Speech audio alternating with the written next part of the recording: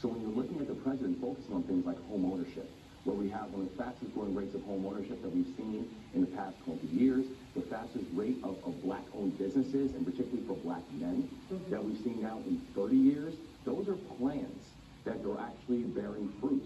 And these are the type of things that we have to be able to acknowledge. Governor, uh, more to talk to you about, but we have to leave it there.